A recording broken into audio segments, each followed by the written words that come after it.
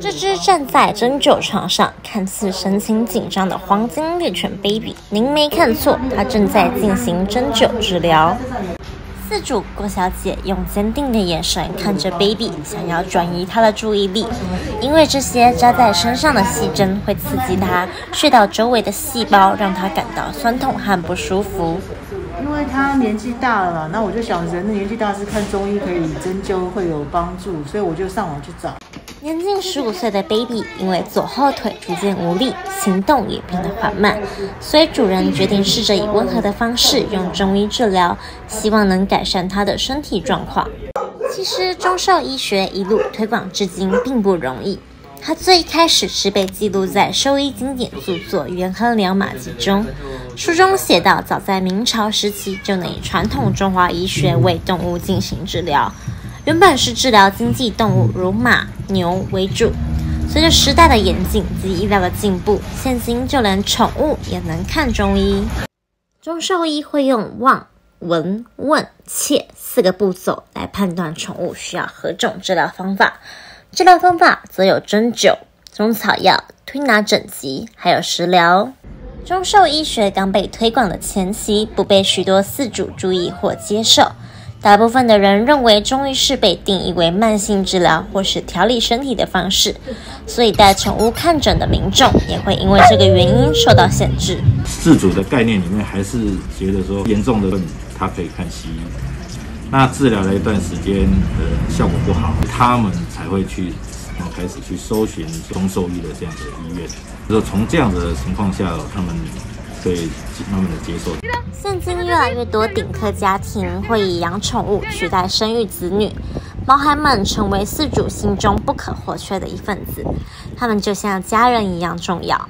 所以当宠物生病到一般西医诊所，怎么治疗都治疗不好的时候，饲主就会开始寻找新的方式。也就是近几年开始兴盛的中兽医学。有的瘫痪的动物，它经过了第一的治疗，即使手术了之后也是站不起来，这些我们都用针灸就可以让它再站起来，有百分之七十到九十的成功率。中医养生观念渐渐被民众所重视，有些饲主看到毛孩身体状况有成效之后，便会长期去中兽医诊所治疗，因为这对他们来说是一个新的希望。虽然中兽医学有许多宠物身体逐渐好转的案例，但医生说明中医并没有办法医治所有疾病，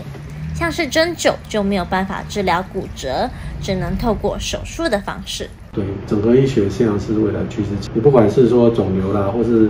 癌末的，必须要把中西医一起来用。你透过西医的精准的诊断，然后通过西医的一些。呃，紧急性的治疗，然后再用中医下去去维持，那这样是效果会更好。是，对。像是这只十四岁的西施犬皮皮，刚刚完成针灸治疗，现在为了减缓它颈部的不适，所以它正在进行镭射疗程。因为它有心脏病，然后心脏肥大，这个一定是要一辈子都要吃药。那我女儿怕他说这个药吃这么长的时间。怕有很多引起很多副作用。